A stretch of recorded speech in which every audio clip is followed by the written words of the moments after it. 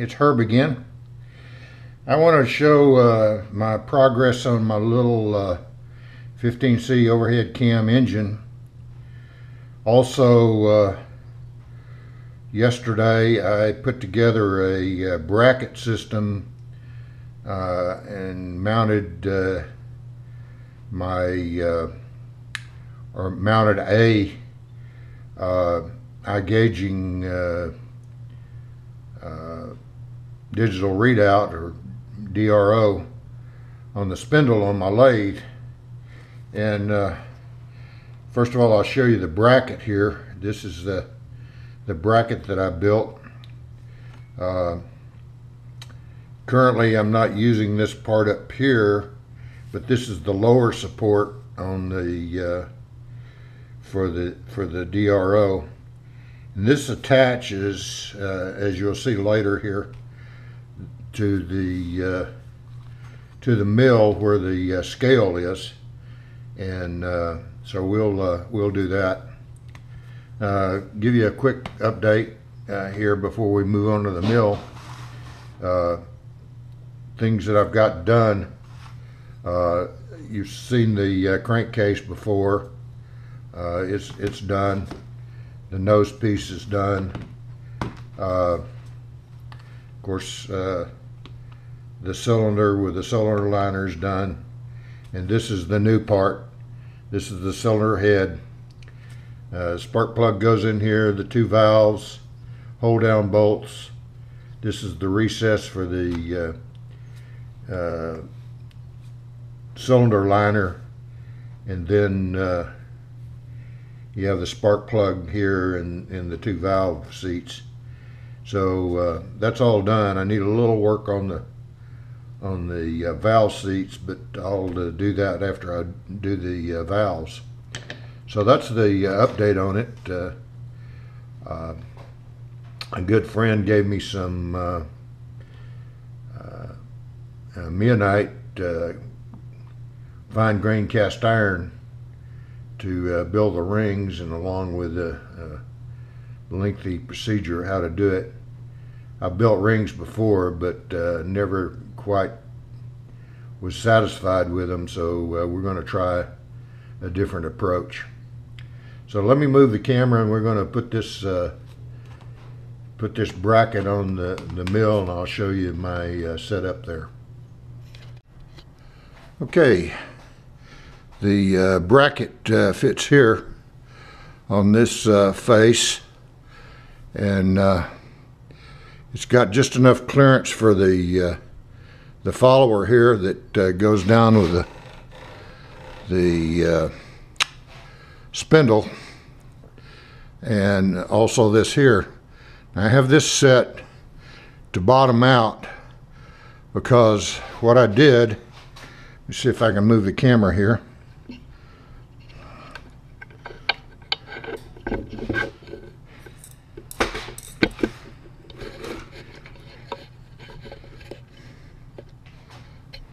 What I did, if you can see it here, uh, there's a hole in this uh, follower. So I uh, turned a uh, uh, turned a piece of aluminum and threaded it for a uh, 832 screw, and I split it a little bit so as the screw goes in, it wedges it a little tighter, and the follower bracket uh, is attached to the the DRO, and that's attached to to uh, that with a little spacer in there to get the spacing right. Uh, up at the top here, see if we can uh, see that. Up the top, I drilled and tapped a 1032 uh, hole, and I only had a um, slot slotted screw for the length that I needed, but I built a spacer to get it the proper spacing and uh, then attach this top bracket to that. So it's attached there, the follower is attached there, and the bottom is loose. Although it'd probably work okay, it needs to be a little bit more stable. So uh, we're going to attach the bracket here and I'll show you how it goes together. Okay, we got everything mounted up here. The bracket's on. I left the, the scale off. It's pretty beat up anyway. Uh, and uh, mounted mounted here on the lower side. And uh, this part up here, my intention is to put a a plate over here to uh, mount my uh, easy read uh, caliper uh, remote display. Uh, take you around to the other side.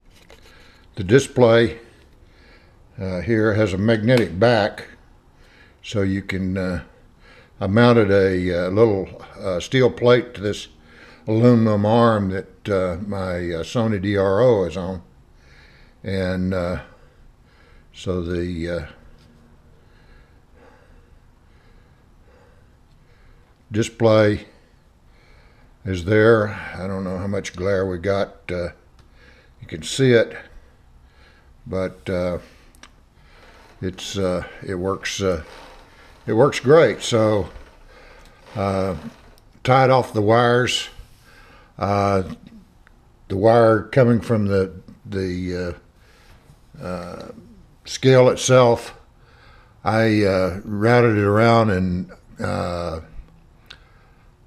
zip tied it to the oil cup in the in the back of the uh, back there, and then that runs over here, and we got enough slack where we can move this around.